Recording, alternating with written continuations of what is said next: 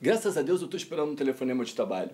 Foi por isso que semana passada eu comprei um aparelho na loja, um telefone celular. Mas é foda. A pessoa pensa que tá resolvendo o problema, tá comprando um problema maior. O telefone veio quebrado. Assim que eu liguei, ele veio com um defeito que toda vez que ele toca é pra outra pessoa. Só que essa pessoa é muito relacionada, por isso o telefone toca pra caralho. Aí eu atendo, alô, é pra outra pessoa. Eu não tenho mais sossego. Minha vida virou inferno. É de dia, de noite. A pessoa tem que dormir. A pessoa tem que dormir 8 horas por dia. E não é para descansar, não. É para estar sossego para outra pessoa. Porque se todo mundo ficar acordado, é uma guerra mundial, é um inferno. É por isso que a Terra gira. Dorme esse, acorda esse. Dorme esse, acorda esse. Você dorme, eu acordo. Porque todo mundo acordado junto é uma perturbação do cacete, ninguém aguenta. É alô, é engano, alô, é para outra pessoa. Eu liguei pro 0800 para tentar trocar o número. Só que a atendente me botou pra ouvir uma musiquinha. Eu fiquei quase uma hora ouvindo.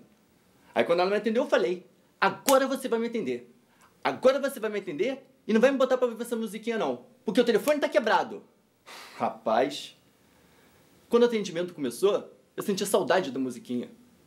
Eu tinha que fazer tudo, ela não fazia porra nenhuma. Era, cadê a nota fiscal? Pega a nota fiscal, pega o aparelho, olha lá em cima, não, não, não, não tô com a nota, não, olha lá embaixo, não, não, não tô, olha no lado esquerdo do canto direito. Elas são umas debochadas. Debochadas. Aqui, achei a nota. Tá, agora confere com a nota. Pega o plástico, pega o aparelho e mistura tudo. E cadê o isoporzinho? Não tem isoporzinho. Pega o isoporzinho, bota no plástico. Eu tinha que fazer tudo. Ela não fazia nada. Fiquei quase uma hora nisso.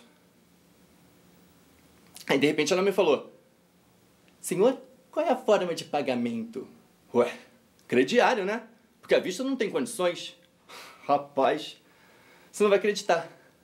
Ela simplesmente me respondeu: Senhor, a firma não trabalha com reclamações para pagamentos a crediário. E eu posso dormir com um barulho desse? Ó, oh, tá tocando. Deve ser mãe dele.